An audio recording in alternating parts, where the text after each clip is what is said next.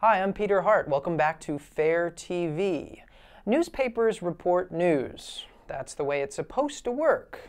Except when newspapers decide not to report certain facts because the government doesn't want them to.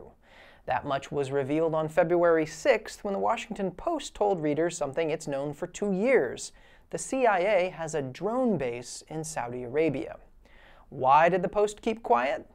At the request of the White House which said that reporting this fact would undermine operations against an Al Qaeda affiliate regarded as the network's most potent threat to the United States, as well as potentially damage counterterrorism collaboration with Saudi Arabia.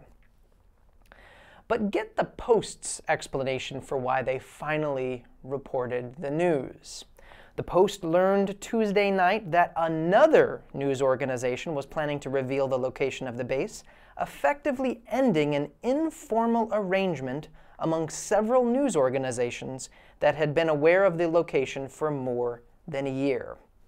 That other news organization seems to have been the New York Times, which mentioned the Saudi base in a February 5th report. And that paper's managing editor explained that they kept the news quiet because the Saudis might shut it down because the citizenry would be very upset.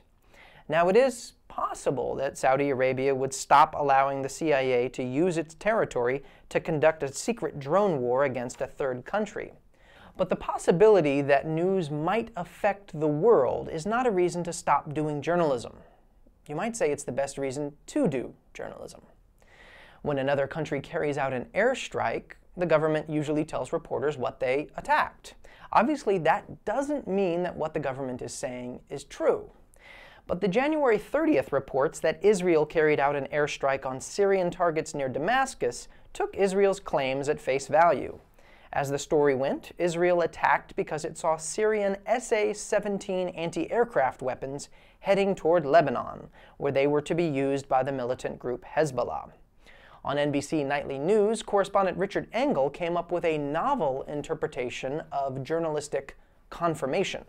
What we've been able to confirm is that an Israeli airstrike took place and that it attacked a convoy, probably stationary just north of, of Damascus. It was packed with fairly sophisticated Russian anti aircraft missiles, and that those missiles were on their way to Lebanon. They were going to be handed over to Hezbollah.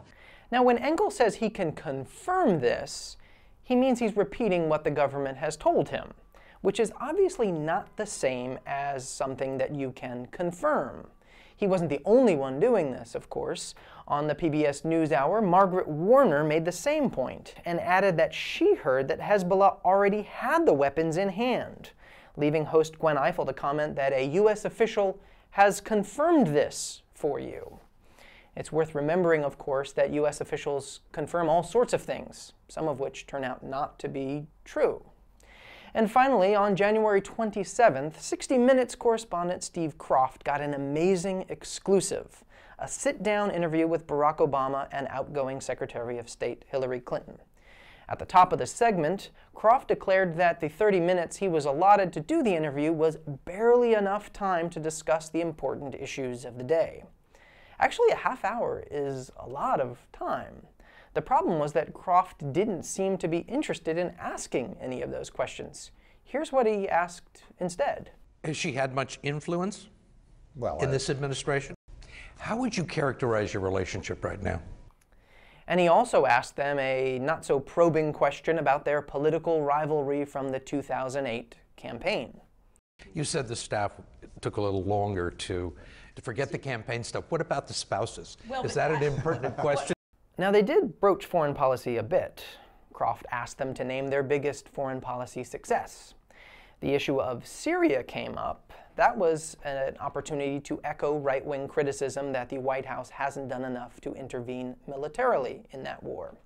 60 Minutes enjoys a reputation as the gold standard in TV journalism. This was something else. I'm Peter Hart. Thanks for tuning in to Fair TV.